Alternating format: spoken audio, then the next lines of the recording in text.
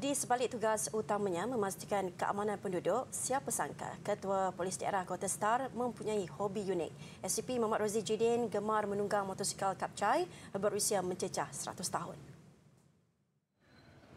ACP Muhammad Rozi menunggang sendiri motosikal Honda C50 sejauh 18 km ke Mahat Tarbiyah Islamiah di Derang dekat Pokok Sena dalam jelajah polis sempena sambutan Hari Polis ke-212.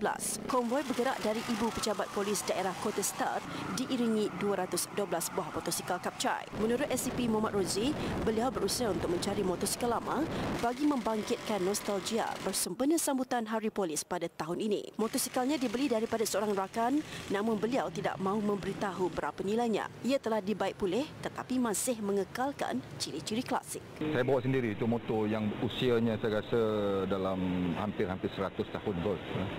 Itu motor ni. Sampai, sampai, sampai, sebab saya nak cari motor yang 212 tak wujud dah. tak wujud dah motor tu. Eh? Konvoi ini menarik perhatian orang ramai termasuk pelajar dan guru agama sekolah pondok. Mudir Mahat Tarbiyah Islamiah Syekh Abdul Majid Abu Bakar and Nad Nadwi berkata, beliau cukup teruja dengan sambutan Hari Polis peringkat daerah Kota Star yang diadakan di pekarangan pondoknya. Seronok sangatlah. Memang bukan mudah. Banyak tempat pilih sini ya.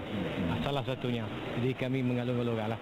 Syekh Abdul Majid turut terharu kerana Ketua Polis daerah sendiri memberi taklimat berkaitan kesalahan jenayah kepada seluruh kaki tangan dan pelajar.